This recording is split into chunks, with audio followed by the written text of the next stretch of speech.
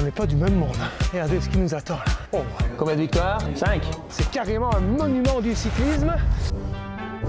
On reconnaît nos classiques. Épisode 8, la flèche wallonne. Alors, qui dit flèche wallonne dit mur de oui, mais depuis 2015, il y a ça, Cherave, et c'est costaud.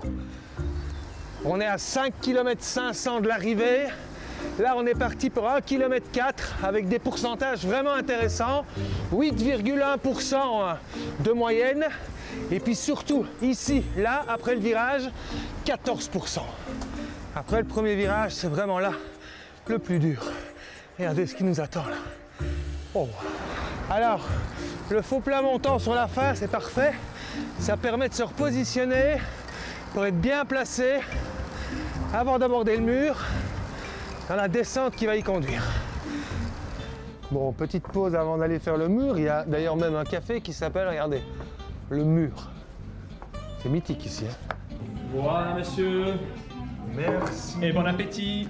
Alors en fait, euh, la Flèche Wallonne, elle est née en 1936. euh, bah, c'est l'idée d'un collaborateur d'un journal euh, bruxellois, euh, Les Sports, euh, qui avait envie d'avoir aussi euh, une course pour redoper les ventes du journal.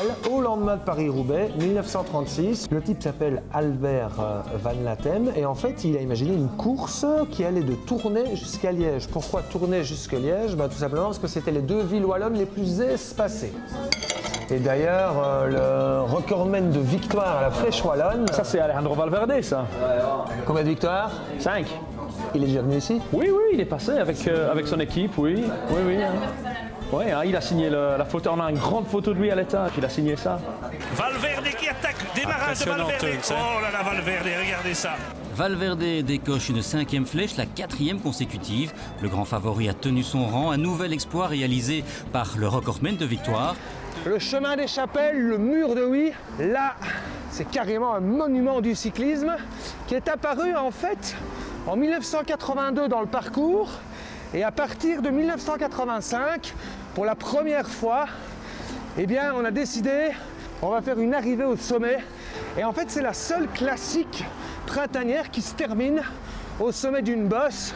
Ça y est, on y est. Alors dès le départ, on a compris quoi, il va falloir s'économiser. On est sur du 10, 11, 12%.